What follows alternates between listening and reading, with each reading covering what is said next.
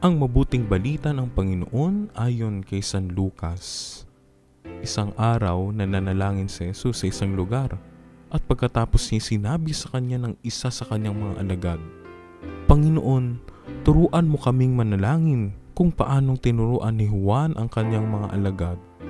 At sinabi ni Jesus sa kanila, Kung mananalangin kayo, sabihin ninyo, Ama, sambahin ang ngalan mo, dumating ang kaharian mo. Bigyan mo kami araw-araw ng pagkain kailangang kailangan namin. Patawarin mo kami sa aming mga sala. Tingnan mo't pinatatawad din namin ang lahat ng may utang sa amin. At huwag mo kaming dalhin sa tukso. Ang mabuting balita ng Panginoon. Pagsasaliwa. Panginoon, turuan mo kaming manalangin Normal sa gawain ng mga guro noong panahon ni Jesus na bumuo ng panalangin para sa kanilang mga tagasunod. Ito ang kahilingan na ipinakiusap ng isa sa mga alagad ni Jesus. Napansin ng alagad na ito kung paanong ang mga alagad ni Juan Bautista ay may sariling paraan ng pananalangin. Ang pang-araw-araw na gawain ni Jesus bagamat sadyang mabigat dahil sa maraming mga pangangailangan ng mga tao ay karaniwang napapalooban ng pananalangin.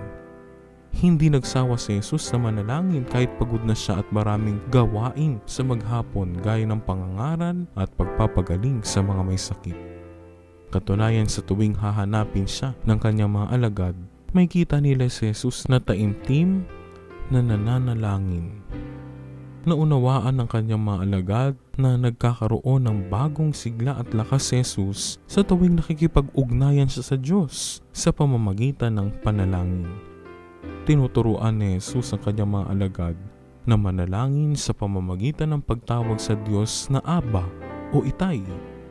Hindi kailangang ipilit ng kanyang braso para pilitin siyang ibigay sa atin ang mga pagpapala dahil bilang isang ama, bukas palad siyang nagbibiyaya sa kanyang mga anak.